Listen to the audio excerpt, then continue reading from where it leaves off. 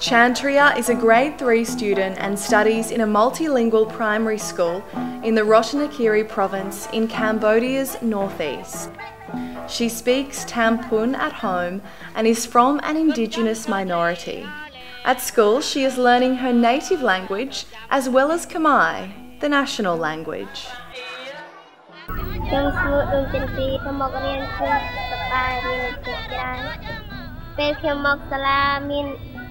ខ្ញុំស្មូតដូចជាទីខ្ញុំមករៀនគឺសប្បាយមានចិត្តច្រើនពេលខ្ញុំមកសាលាមានសប្បាយចិត្តដែលអានសៀវភៅពួកប៉ាម៉ាក់ខ្ញុំចង់ជំរុញខ្ញុំឲ្យខ្ញុំរៀនដល់ចប់ Mr. Na and Mrs. Klup are Chantria's parents. They think it is very important their daughter goes to school to learn to read and write in the national language so she can get a good job. សម័យអាហ្នឹងបើមនុស្សអត់ចេះអក្សរវាល្ងងខ្លៅដូចថាល្ងងទាំងផ្នែកដូចថាងឹតទាំងផ្នែកល្ងងខ្លៅទាំង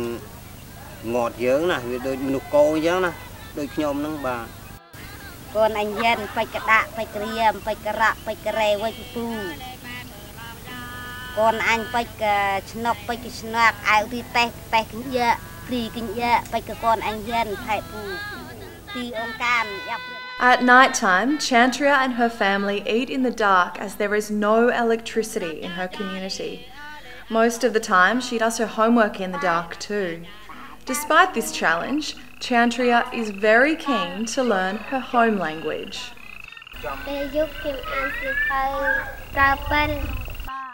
Around 15 million people live in Cambodia. 90% are Khmer, while the rest are other ethnic groups who do not speak Khmer.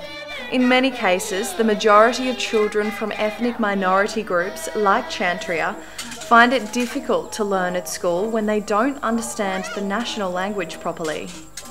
To ensure that all children can go to school in Cambodia, UNICEF is working with the government and other development partners to support the implementation of multilingual education in the northeastern part of the country, where most of the indigenous minorities live. The 2008 census showed that 70% of the children in Ratanakiri, where Chantria lives, were not native Khmer speakers.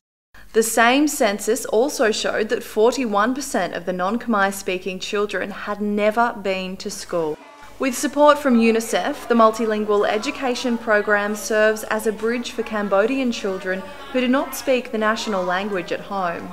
Currently, the multilingual schools allow more than 4,000 children from Indigenous communities to learn in school effectively.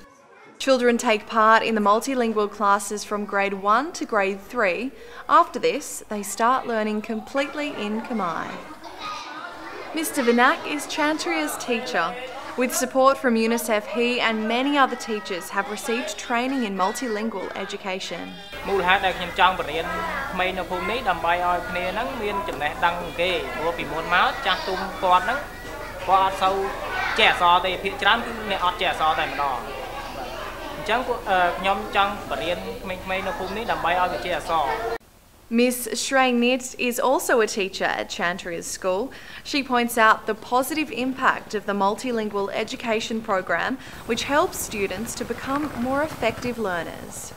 សម្រាប់សិស្សដែលឆ្លងកាត់ពីការរៀនពីភាសាតែដល់ពេលដល់ថ្នាក់រៀនភាសាខ្មែរ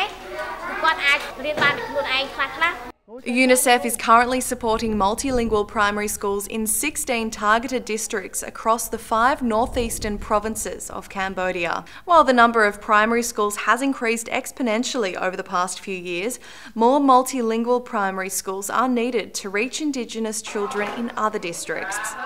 With additional funding and support, UNICEF will be able to help more children like Chantria to reach her full potential and get the quality of education she deserves.